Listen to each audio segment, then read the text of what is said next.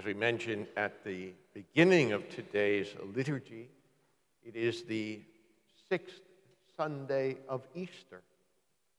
And so for six, seven weeks, we have been singing Alleluias.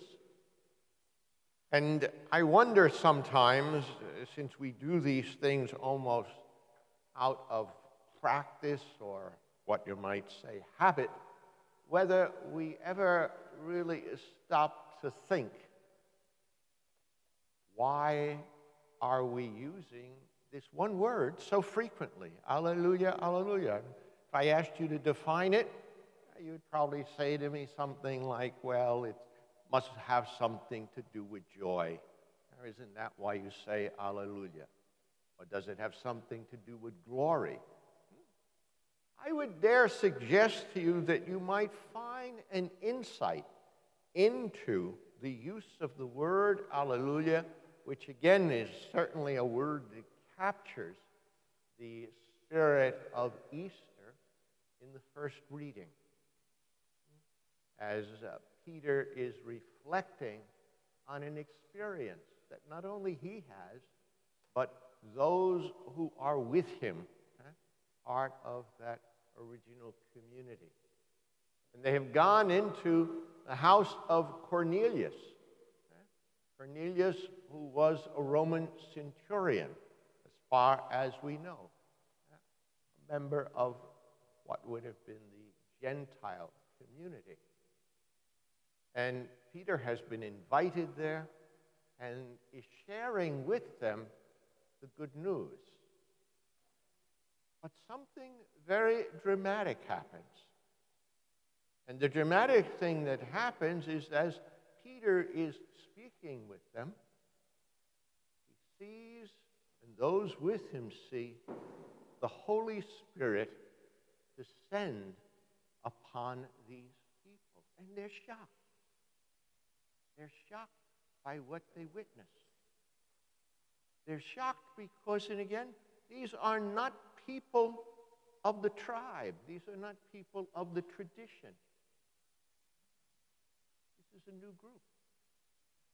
And in a sense, the Alleluias are the celebration of the new day of God. For that's what Easter is. It's a celebration of the new day of God. When God breaks open the barriers, and not just the barrier of death, certainly that is one of the critical pieces, but the barrier of the prejudices, the barriers of the narrowness, the barriers that were so ingrained in the human culture. He shatters them. And he basically says there is no tribe.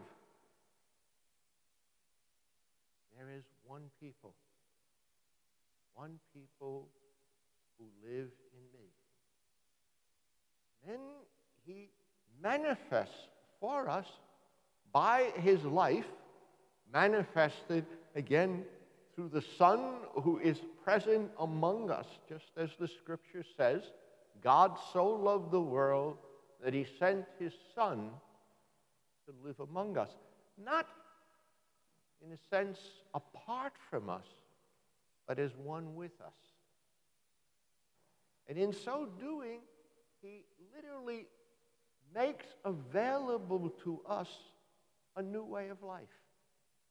A way of life captured in that word which is repeated over and over again in the scripture today.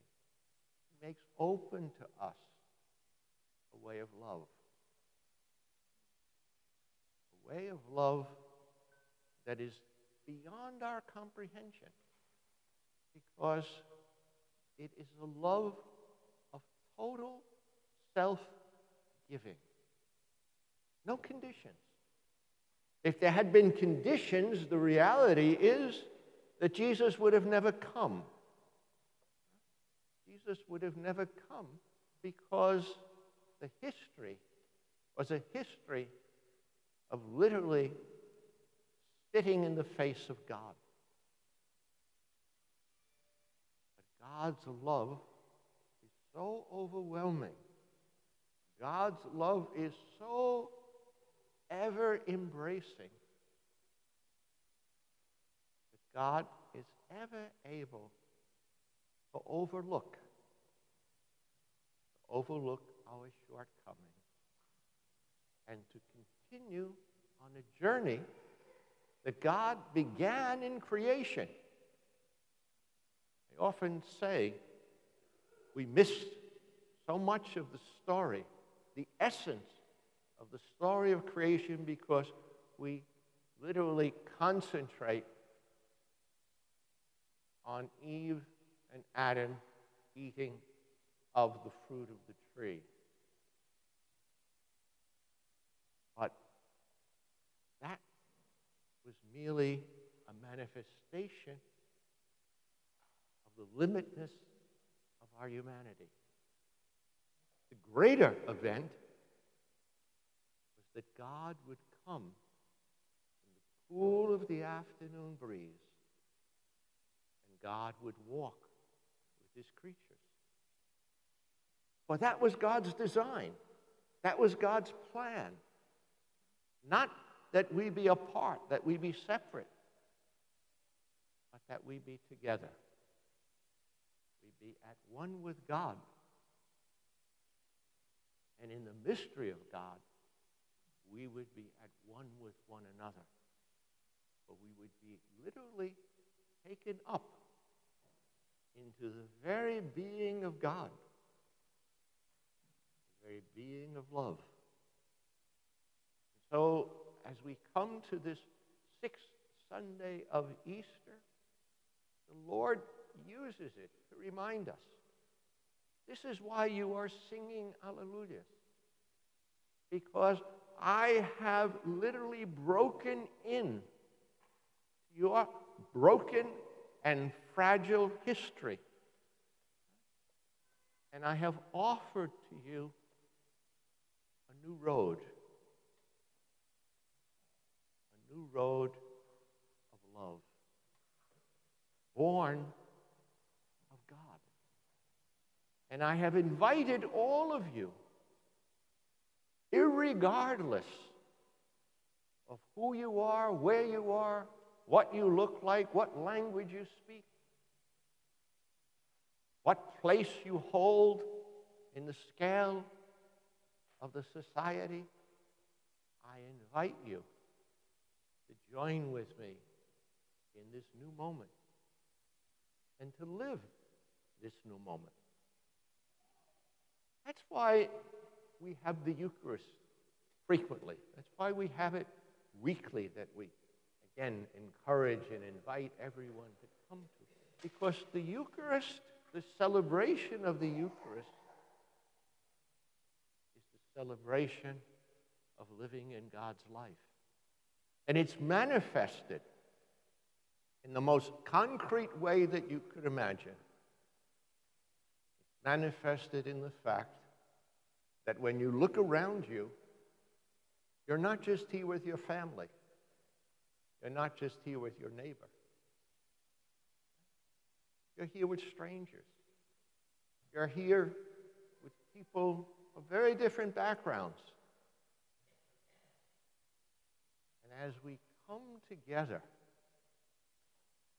and we enjoy the gift of the Lord, there is a prayer. It's the prayer of consecration. Again, we think of that often in terms of the transformation that takes place in the body and blood, in the bread and wine, becoming the body and blood of Christ. But there's a second consecration that takes place shortly thereafter as we pray that the Holy Spirit come upon us as it has come upon, as the Spirit has come upon the bread and wine and transformed it into the body and blood of Christ, we pray that the Spirit come upon us and transform us by the power of the Spirit into the body and blood of Christ. Literally, that we, through the Eucharist, will continue to grow in the newness of Jesus' risen life. And that the Eucharist will give to us the strength to live that reality day in and day out, despite all the obstacles, despite all the negativity, despite all the violence, we will be the faithful remnant that speaks by our actions the love of God in our families, in our communities, ultimately in the world at large.